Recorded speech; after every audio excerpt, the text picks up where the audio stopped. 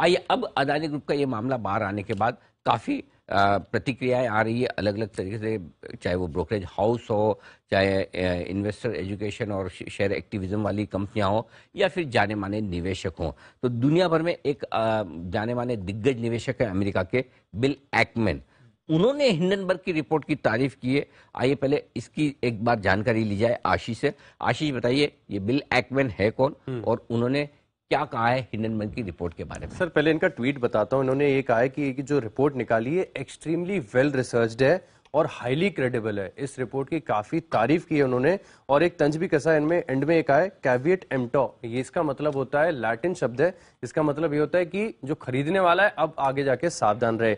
जैसे कि आपने पूछा कि है कौन तो इनका थोड़ा सा परिचय दे देता हूँ। ये यूएस के दिग्गज निवेशक हैं हेज फंड मैनेजर हैं और पर्शियन कैपिटल करके जो है, इसके फंड के सीईओ हैं। और इसका एयूएम अगर आप देखें तो करीब करीब डेढ़ लाख करोड़ के आसपास है। और इनका भी इतिहास रहा है कि ऐसे इन्वेस्टर एक्टिविज्म में काफ़ी पार्ट किया है। इन्होंने 2012 में एक कंपनी थी, हर्बल लाइफ करके। इसके अगेंस्ट एक रिपोर्ट निकाली थी और इसमें कहा था कि कंपनी का जो पूरा कारोबार है, एक पिरामिड स्कीम की तरह चल रहा है। और स्टॉक में भी देखें तो बड़ा तेज रिएक्शन देखने को मिला था, करीब करीब बीस परसेंट तीन दिनों में लुढ़क गया। हालाँकि उसके बाद विपरीत रिएक्शन भी देखने को मिला स्टॉक के अंदर।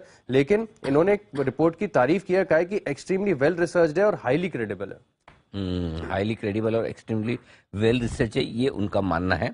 आइए कुछ और इंटरेस्टिंग चीज़ें इसको लेकर होती हुई दिख रही है। रॉयटर्स के हवाले से एक खबर आई है और रॉयटर्स का ये कहना है कि सेबी भी इस रिपोर्ट के ऊपर अपनी नज़रें बनाए हुए आशीष, आप ही को बताना है कि सेबी का क्या व्यू बन रहा है, किस तरह के डेवलपमेंट हो रहे हैं। रॉयटर्स क्या बता रहा है, सेबी क्या करने वाला है? देखिए रॉयटर्स के हवाले से खबर आई है कि जो रिपोर्ट आई हिंडनबर्ग की, इसकी रिपोर्ट का संज्ञान जो है सेबी ने लिया है।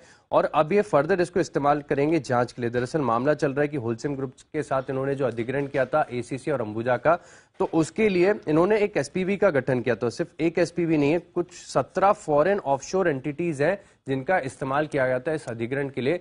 तो सेबी ने इसका संज्ञान लिया है और इन रिपोर्ट्स को अब वो अपनी जाँच के लिए फर्दर यूज़ करेगा।